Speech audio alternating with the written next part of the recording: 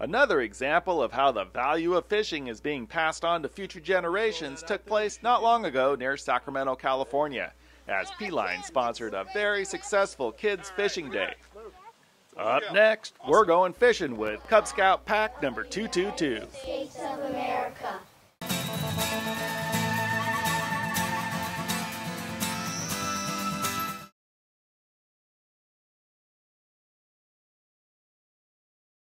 Today, we're at a very nice little private pond near Sacramento, California, where a group of local Cub Scouts will learn the basics of fishing. This event was made possible with the help of P-Line and Don Okay. Newman, Vice President of Sales and Marketing Can we for fish? P-Line. Can we can we start fishing over there? You can? I know where the big I know where the big blue bluegill spot is. Where's the big bluegill spot? Over there. And you're not keeping that a secret? Yeah. All right, so somebody can take this one, and you know how to cast it, Travis? Yep. Okay. Excuse me. You want to rig that one up next? Okay. Hi, my name's Don Newman with P-Line. Normally, as anglers, we're always looking for that next challenge, incorporating downriggers and electronics into our kokanee fishing, going to extreme locations like Costa Rica or Alaska to try and catch a big salmon or a sailfish.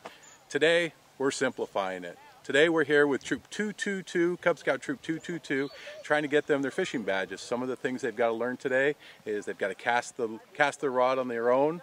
They've got to be able to tie their own rigs up. They've got to be able to identify the species they're catching. Um, so it should be a fun day today. Looking forward to it. I'm not touching it. Okay, here, let me grab it. That how fun.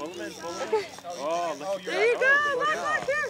My second one. Oh, he's in the muck. Let's see what we got here, bud. It's not in this one. Look at that guy. Yeah, because I think that's Matthew, back up one, two, Matthew, two steps back. Two steps back. I mean, it's all the muck. Look at that guy. Huge. Wow, he is. Oh, that's a good one. Watch out, he's very spiny. Are you guys gonna eat them?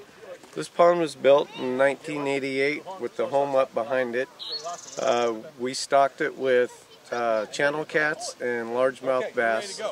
Um, I feed them three to four times a day a game fish chow, or not a day, a week. And we have catfish that'll go up to about 12 pounds.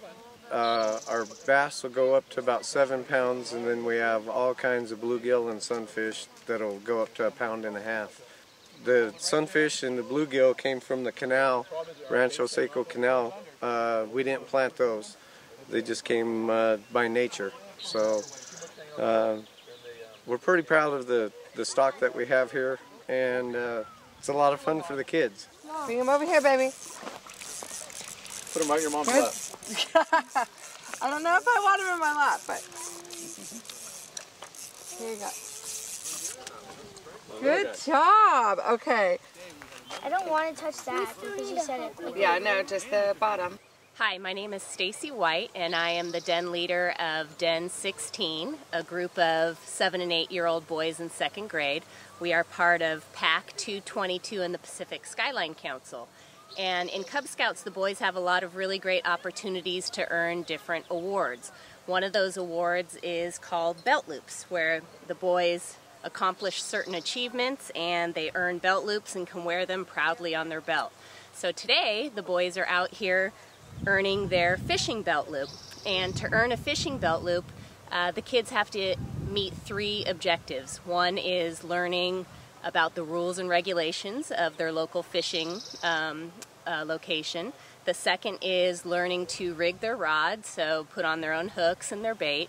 And then the third is fishing. So today the boys have rigged their rods previously Don had taught them all the rules and regulations, so we're having just lots of fun fishing and identifying all the fish that we're pulling out of the, the lake.